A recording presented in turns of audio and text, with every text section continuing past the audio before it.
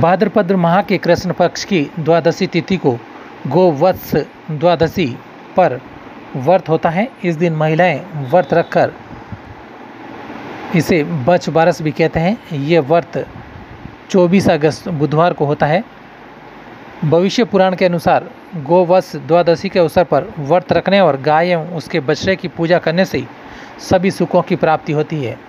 जिसको लेकर ब्यावर शहर में भी बच बारस के अवसर पर महिलाओं के द्वारा व्रत रखकर गाय एवं उसके बछड़े की पूजा अर्चना की गई।